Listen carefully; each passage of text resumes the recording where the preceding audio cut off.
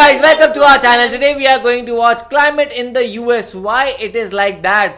This is the question that comes to our mind a lot of times because we see that like US is the land of tornadoes and there are Mm-hmm. cyclones and so many things going on. But why is US like that? So let's get into the video. Howdy, it's Kyle talking about the climate of the contiguous U.S. And with the landmass the size of the U.S., you can of course expect a lot of different types of climate throughout the country. And in this video, I'm going to talk about why different regions get different types of climate. So why you have different types of precipitation and temperatures and weather hazards in this part of the country, but not the next.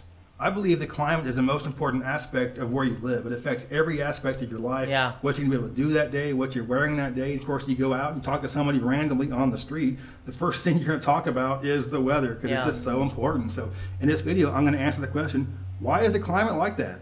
The two most important geographic aspects that affect the climate of the U.S. are the ocean currents and the north-south orientation of the mountain ranges of North America. And the combination of these two aspects are what leads to the vast array of different climate types throughout the country.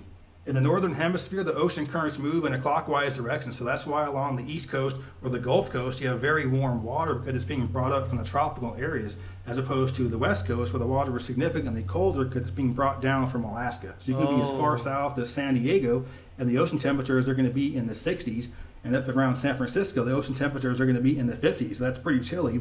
Compare that to say the Carolinas, where the ocean temperature is going to be in the 70s, and Florida and South Texas, where the ocean temperature is going to be in the 80s. So it's going to be a Oh. lot warmer on the East Coast and the Gulf Coast, and you can go as far north as New York and New Jersey, and the ocean temperatures are still pretty pleasant. I'm going to begin discussing the different climates in the U.S. by starting from the west and moving east, because in the mid latitudes here in North America, we're in a westerly wind belt, so that's the way that the weather generally moves.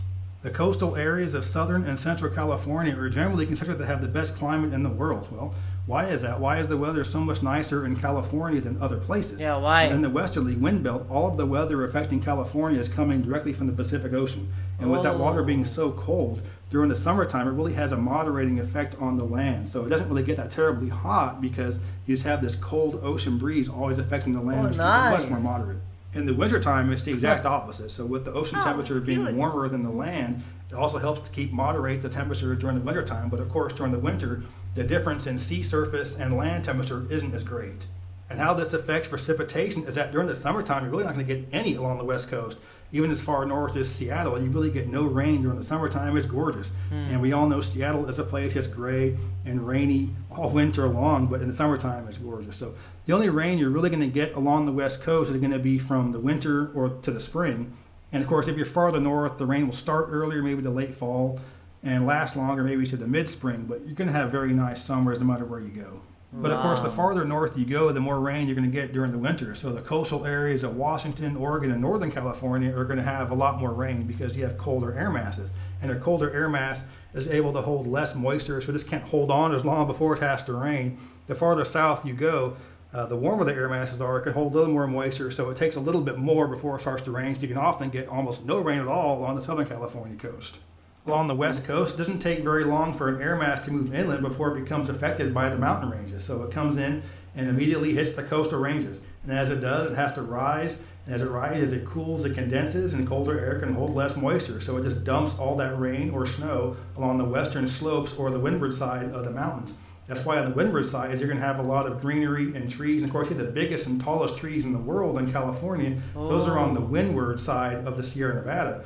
But once you get to the Wow. eastern side of the Sierra Nevada or the Cascades, is where things So change a lot because the atmosphere dumped all that moisture on the west side. There's none of it left for the east side. Once you get to the eastern slopes of the Cascades and the Sierra Nevada is where you start to get into deserts. There's very little vegetation at all, and what you do have is usually xerophytic, kind of like cacti. It just doesn't need very much water at all. Has very deep roots to get to the very limited water there is, and you also have very extreme temperature ranges. So you don't have the you know the coastal air masses affecting these areas east of the mountains. So you have very very hot summers and very cold winters. Oh. East of the Rockies is where things really start Oh. to change because once you get into the Great Plains, you no longer have any mountain ranges that are there to stop and affect any of the air masses. So you have different air masses from different parts of the continent that are colliding. The western part of the Great Plains are very dry. You have you know short grass prairie. There isn't much hmm. precipitation there. And as you generally move east, you get more and more precipitation. It gets more and more green. You have the the tall grass prairie in the eastern part of the Great Plains, and this gets more and more green as you head east. And the reason for that is that you have a lot of the warmer air masses from the Gulf of Mexico that are able to come up into the middle part of the country. And again, there's no mountain range there to stop it. So it just brings in that warm, moist air from the Gulf, and this creates more humid temperatures, a little bit more moisture, a little more precipitation, and more greenery. But having no mountain ranges there also allows the really cold, dry air masses from Canada and the polar areas to come into the middle part of the country as well. So what happens is you have these really cold, dry air masses from the north mixing with these warm, moist air masses from the Gulf of Mexico, and they collide right in the middle of the country. Mm. And when these two collide, if the differences in temperature are great, you can get a really strong storm. And so the greater the temperature difference, the greater the pressure difference is between the two, the stronger the storm's going to be. And of course, in the Great Plains, this is where you get giant thunderstorms. So you got these, you know, these giant air masses that collide. You got these really warm ones mixing wow. with these really cold ones. Makes the air very unstable. Makes it really exciting from an atmospheric standpoint, but can but can create pretty severe storms, including tornadoes. Back in 2011, there was a huge tornado outbreak in the southeast, and there was a tornado that hit just a few miles from our house, and it was a you know a small tornado, if you can really even use that term. It was an EF zero, but EF you know, I'm sitting on the back porch, and it was kind of cold and dry, and then a couple minutes later, it was warm and moist, and then back to cold and dry. It was just going back and forth, and I was like, "Oh man, this isn't good. This is going to be this is going to be bad." It's kind of mm-hmm. like you know drink a lot of beer, drink a lot of liquor, everything gets in your stomach. It's real like that. And at some point, you're going to have to throw up. And that's kind of what a tornado is. The atmosphere becomes so unstable. These two air masses colliding. Yeah. You know, a tornado is basically the atmosphere throwing out. and the U.S. is by far the number one spot in the world yeah. for tornadoes. There's nowhere else on Earth that comes anywhere near as close as we have. Yeah, only America. And again, it's because of the mountain ranges. You look at the other major mountain ranges in the northern hemisphere, the Alps are east-west oriented, the Himalayas are east-west oriented, the Pamirs, all these major mountain ranges are east-west. So what that does is it keeps the colder air masses from the polar areas from mixing with the warmer air masses in the tropical areas. And if we don't have this mix, you don't have the instability of the air. You don't have as much throwing up to create tornadoes. So you mm. can get tornadoes in other parts of the world, but the vast majority of them are going to be here in the U.S. Yes. Just this century, what's considered Tornado Alley has changed a little bit. It used to be almost exclusively the Great Plains as far north as the Dakotas or Nebraska. Spreading to all of them. more south but just half of America. Mississippi and Alabama are just as bad as Oklahoma and Texas in terms of tornadoes, and you know it can be more of a risk in the southeast actually because you know a lot less people have basements for protection, and a lot more folks live in mobile homes. So in the Midwest, people are more used to these big tornadoes and they have more likely to have a basement and are less likely to live in a mobile home so the risk isn't quite as there so it's it's been pretty bad in Mississippi and Alabama in recent years, and it's only going to probably get worse.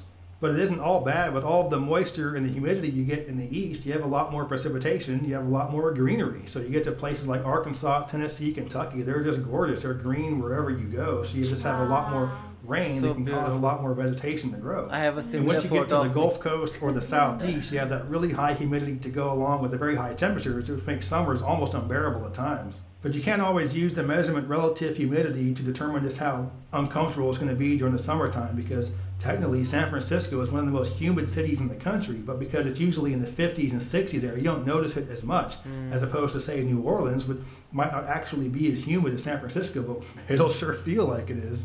Dew point is a much more accurate measurement of how uncomfortable it is or in terms of the heat index. Relative humidity is literally the difference between the temperature and the dew point. So if they're very close to each other, it's very humid. So again, San Francisco might be 60 degrees, the dew point might be 50. That's very, very humid because they're very close to each other, as opposed to say the southeast where it might be 90 degrees with a dew point of 70. So the spread is much larger, but it's going to feel much more uncomfortable because the dew point is a lot higher.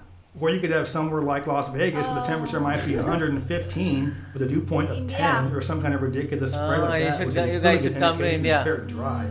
And when I was in college, I had a meteorology professor. I asked him, you know, what's your favorite weather? He's like, I don't really care what the temperature is, as long as the dew point is 50. Mm. But of course, that warm water off the East Coast and the Gulf of Mexico is why you can get hurricanes during the summer or fall. And you know, the entire Southeast faces oh. a significant hurricane risk every single year.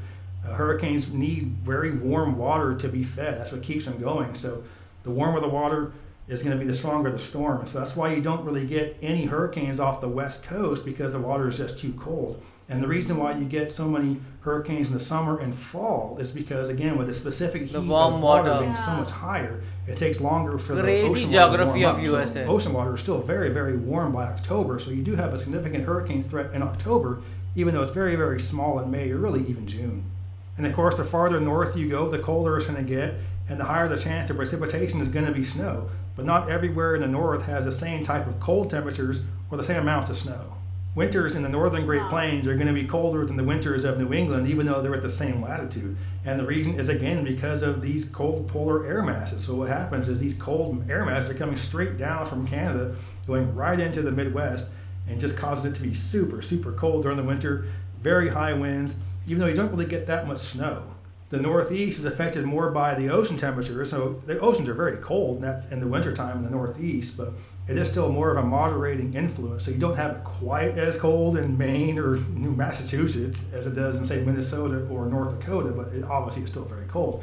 But you do get more snow in the Northeast than the Midwest. Mm. You can be as far north as eastern Montana or North Dakota, and you won't have that more much snow. For in light dusting while it's minus 25 degrees, as opposed to, say, Boston, where you might have a foot of snow, even though it's a toasty 12 degrees. And then you have wow. lake effect snow, which is literally how it sounds. It's snow that's affected by the giant lakes. What happens during the wintertime is, you know, the air is moving from west to east and it's going across these giant lakes. And during the wintertime, even though the water is very cold, it's still warmer than the land. So it's relatively warm air masses carrying a lot of moisture. And it says hauling going across these lakes. There's no friction at all, nothing slowing them down. Mm. All of a sudden, hits the land. The land is much colder. Colder air can hold less moisture, so it has nowhere to go. It's now got friction, has to stop. It can't hold any more moisture and just dumps a ton of snow. So the eastern side of some of these Great Lakes is where you can get tremendous amounts of snow, oh. especially in upstate New York, like Buffalo or Rochester Whoa. It's just ridiculous amount of snow. Too much snow. When I was in college, I had a roommate that was from Rochester. He would tell me these stories about the snow, and I was like, oh, it doesn't snow six to eight feet. I mean, come on. No, it snows six to eight feet. Six so, to eight feet. I mean, that's incredible snow. But you can be on the western side of the Great Lakes, and it's going to be cold and snowy, but nowhere near as much snow as you're going to get you know, the eastern side of the Great Lakes. And you might be wondering why you get so oh much more snow God. in upstate New York, even though Lake Erie and Ontario are a lot smaller than Lake Michigan. Why don't you have as much lake effect snow on the eastern shores of Lake Michigan? Well, Michigan's a north-south oriented lake. It's not that terribly wide east-west, whereas Erie and Ontario are east-west oriented lakes, so there's much more distance for the air masses to cross, more mm. time for it to pick up speed, pick up more moisture, and it just you know gives it more moisture, more snow to dump on the eastern shores of Lake Erie Ontario. But the summers in the Midwest are going to be nicer than the summers in the Northeast because, again, with it being less moisture, it's less humid, and just more pleasant during the summer. You can be as far northeast as New York City, and it might as well be Georgia in August because it's just so hot and humid. So you have a little bit less pleasant summers in the Northeast as opposed to the Midwest. You have a lot more snow, it's not quite as cold. The upper Midwest gets way colder and way windier, not quite as much snow, better summer. So six of one, half dozen of the other. Either way, winters are going to suck. This is the most detailed video I watched on the US weather. Like we used to watch all the US videos and we used to think like what, why US weather is like this. So like we got a lot of answers that US is very big and also like US has warm water on the right side and uh, you can say a bit much colder water on the left side and there are the mountains that are affecting it. And this this video helped me learn about more about environment, like how like even lakes. Like I never thought like lakes affect uh, the way it is. But yes the lakes were affecting like the like those great lakes like were affecting so much that uh, the eastern side of the lake would get more snow. So that was a very crazy thing to understand. So yes so because of the huge nature of us you get all the different kinds of variety of uh, weathers and things. So it's something that i'm very interested about. Yeah i often think about that why they are getting so much tornadoes. Like what is the science behind that? Or what is the things behind that? So he has explained very well. So what do you guys think about it? Do let us know in the comment section below. So do like share and subscribe. bye. bye.